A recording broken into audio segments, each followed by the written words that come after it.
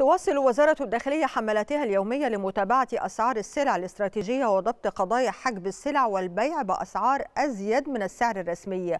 وقد تمكنت الوزارة خلال 24 ساعة من ضبط 433 قضية تموينية بمضبوطات بلغت أكثر من 116 طنا وضبط 25 نصف طن دقيق أبيض في مجال حجب السلع الاستراتيجية وضبط 33 ونصف طن دقيق مدعم.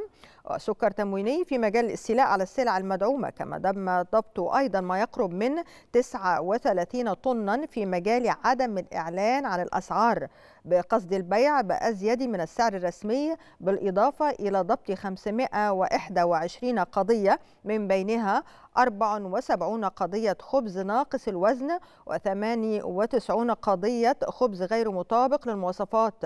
وأما في مجال ضبط مخالفات التلاعب بمنظومة توريد وتداول القمح المحلي فقد تم ضبط ثماني قضايا بمضبوطات بلغت ما يقرب من 119 طن أقماح محلية.